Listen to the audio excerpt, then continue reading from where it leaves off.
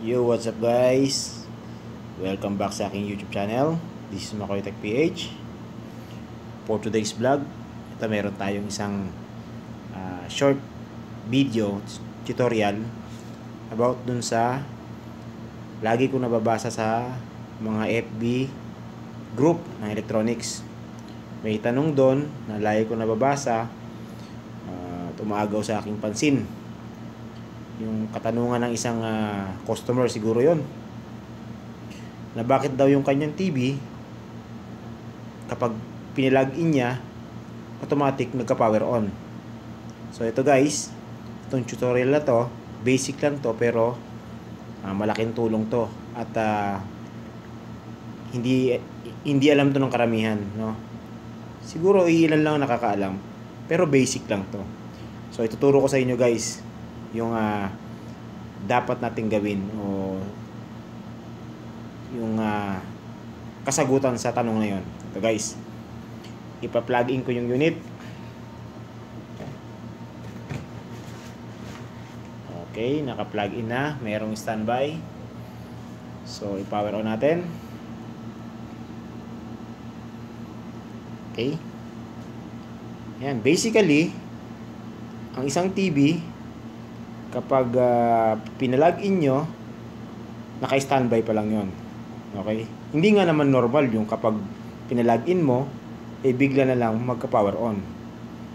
So, ito, naka-normal tayo. Pagka-plug in natin, nasa standby mode muna, then pinower on ko sa remote. So, nag-power on. Okay? So, ang gagawin natin dyan guys, ito, tuturo ko sa inyo step by step. Papasukin nyo yung service mode gamit itong ating remote.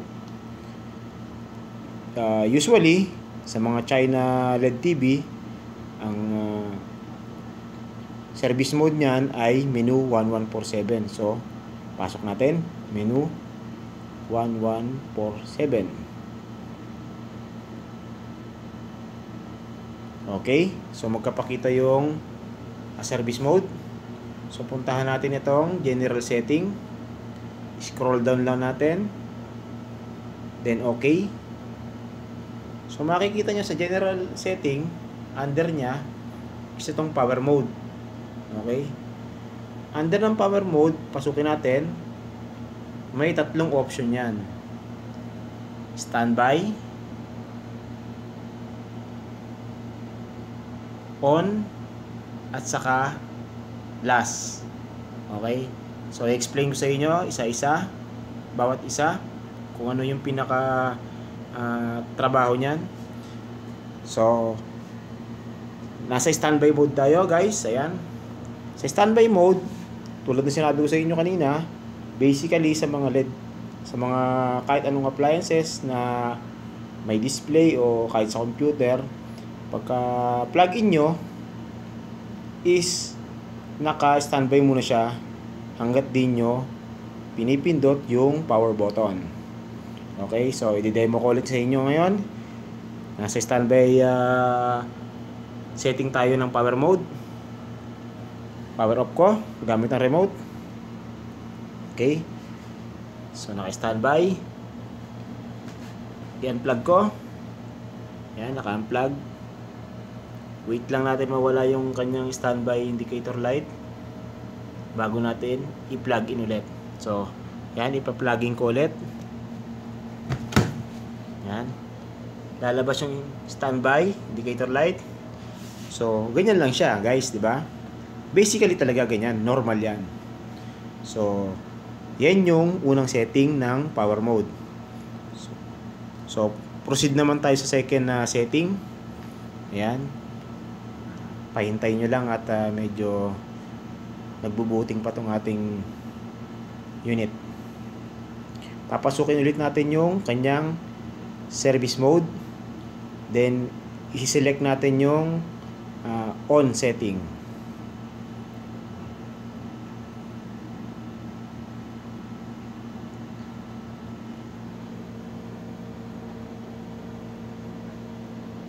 Okay. So, gamit ulit yung remote. Pasukin natin yung service mode. Menu. 1147. Okay. Scroll down ulit. Papuntang general setting. Okay.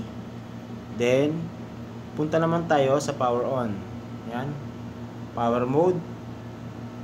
On. Okay. So, naka-set na tayo sa on. Exit tayo. Gamit ng remote. Ang uh, trabaho naman yan guys, ito. Kapag uh, pinower off natin to gamit ang remote, yan, naka-power off. Unplug the unit. Hintayin natin mawala yung indicator light. Standby.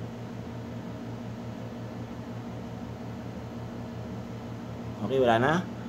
Plug in again. Automatic yan. Magka-power on yan. Hindi ko ginagamitan ng remote yan. Yan ang kadalasan na nirereklamo ng mga customer o ng mga ibang user ng LED TV o LCD TV bakit daw nag-automatic power on. Yan po yon Dahil nakaset ang inyong LED TV sa power mode na on. Okay? Nakopya nyo ba? So, okay. So, proceed naman tayo sa number 3 na setting. Pasukin natin yung uh, kanyang menu, ano, service mode. Okay. Scroll down again. General setting. Kanina nasa setting tayo na on ilagay naman natin sa yung pangatlong setting. Yan. Ayan yung pangatlong setting last. Okay. So exit tayo. Ang trabaho naman yan guys ng last minsan sa ibang mga unit ang nakalagay sa kanya is memory. So kapag memory alam nyo naman memory, yung naaalala. Okay? For example, hindi ko ginamitan ng uh, remote yan para i-power on, power off. Ayan ang remote. Bigla ko na lang siyang i-unplug. Naka-unplug, hindi ko na pinower off sa remote. Okay? So, ipa-plug in ko ulit siya. Okay, pagka-plug in ko, hindi ako nagpipindot sa remote. Bigla siya nag-power on. Kasi, yun yung naalala niyang sa kanya na naka-power on siya kanina, then pina, uh, in-unplug mo. Okay? Vice versa naman siya. Halimbawa naman, kapag uh, pinower off mo siya gamit ng remote, tapos in-unplug mo siya, then pinalagin mo ulit, yun yung kanya maalala na naka-standby mode siya. Okay, na-guess nyo ba yung ibig kong sabihin? Okay, ganun lang kasimple yung guys. So, sana nasagot ko yung katanungan nyo.